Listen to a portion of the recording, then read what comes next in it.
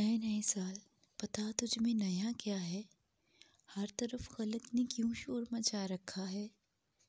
रोशनी दिन की वही, तारों भरी रात वही, आज हमको नज़र आती है, हर एक बात वही।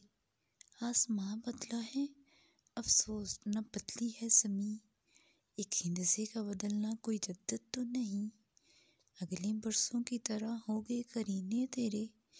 किसे मालूम नहीं, बारह महीने तेरे जनवरी, फरवरी और मार्च में होगी सर्दी और अप्रैल, मई और जून में होगी गर्मी।